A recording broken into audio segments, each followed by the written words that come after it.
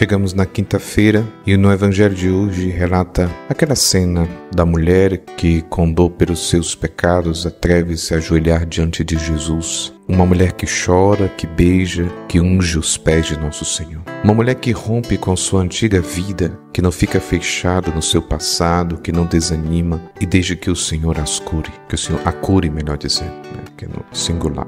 Uma mulher que abre o seu coração porque quer amar verdadeiramente e precisa do perdão de Deus. Ah, que bonito seria eu e vocês se tivesse a mesma ousadia e a coragem, né? Então, deixar que o Senhor nos cure, né? No plural mesmo. Uma mulher que sonha com um coração amoroso, com um coração novo que possa amar mais e melhor. Ela está buscando um amor que possa curar a sua alma e dar a possibilidade de uma vida nova. Diante dela está um homem de certa cultura, um fariseu que acaba julgando duramente, que a despreza, que não compreende os seus gestos, nem o seu olhar, né? nem o olhar misericordioso de Jesus. Um homem capaz de sonhar, de ver a possibilidade de, de conversão. A gente falava um pouco isso ontem da arrogância né, do, do orgulho. Mas é Jesus que está ali no meio, com paciência com amor. Ele explica assim não o que esta mulher está fazendo, como o que causa dor a Deus é, a, é o fechamento à sua misericórdia, ao perdão, sem capacidade de reconhecer os próprios pecados, no caso deste fariseu, e como lugar privilegiado para o encontro com o Senhor,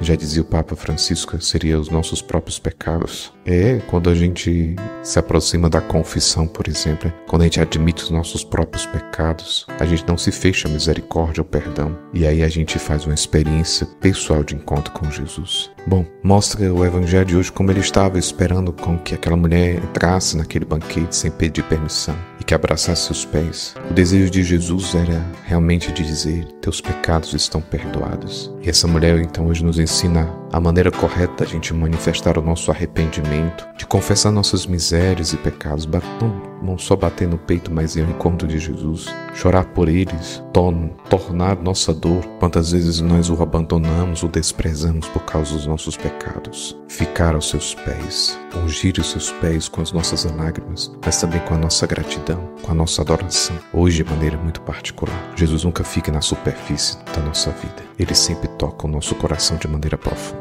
profundamente. O Senhor esteja convosco, Ele está no meio de nós. Abençoe o Deus Todo-Poderoso, Pai, Filho e Espírito Santo. Amém. Bom dia.